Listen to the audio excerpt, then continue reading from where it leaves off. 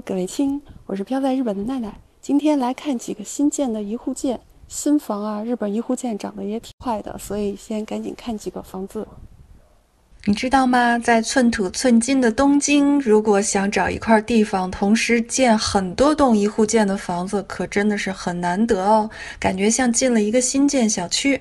那今天我就来看这个小区里面最棒的一栋一户建。一共两层，四 LDK，正南朝向，带两个停车位。那从进大门开始就可以看到房子里面很多面墙上都有窗户，这样就会显得套内非常的明亮，还可以节省不少的能源费哦。独立的卫生间、淋浴房、洗面台这些水系的部分大多会被设计在一楼，当然也有设计在二楼的。那走进去看呢，日本人喜欢泡澡，所以大大的浴缸和很好的淋浴间是必不可少的。一楼的客厅有一个超大的落地窗，就算没有开灯的话，房间也是挺亮堂的。现在日本新建的房子，除了注重合理的空间设计之外呢，更注重房子的节能环保。就连楼梯间这块也有设计了窗户，所以呢，白天的话不用开灯，上下楼梯也很方便，也很明亮的哟。那上到二层以后呢，二层是有四个规规矩矩的卧室，还有一个独立的卫生间。而且发现这个房子设计的特别有意思，每个卧室差不多都有两个窗户，这样呢，一个是显得空间比较明亮嘛，再一个很多家具的话也比较容易好摆放。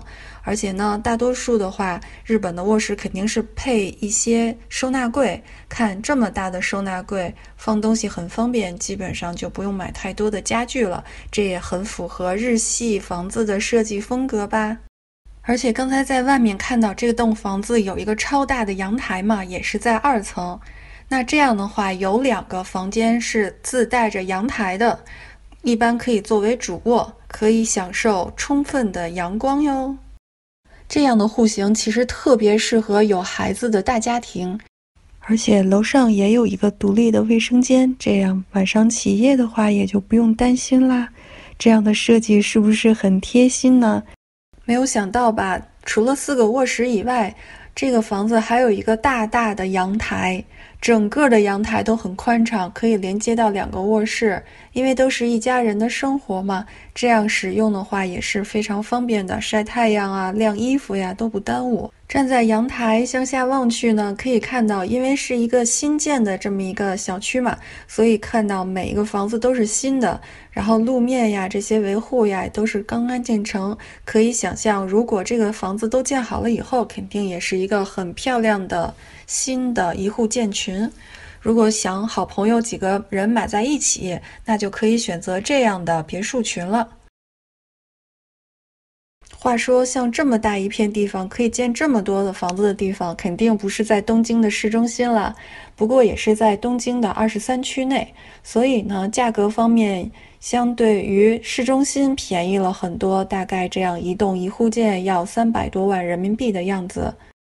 日本的房子说的都是套内的面积，精装修交房，所以呢，可以看到配套的这些设施，大多数都是比较固定的，该有的都会有。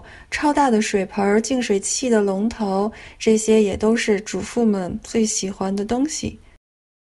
实地看房的时候，不但要看屋子里面是什么样的情况，屋前屋后、左邻右舍的情况也要考察一番，还有周围有没有小公园呀、超市呀、图书馆呀、医院呀、便利店呀，交通是不是方便呀？走到车站的距离大概有多久呢？最好也是在现场直接勘探一下比较好。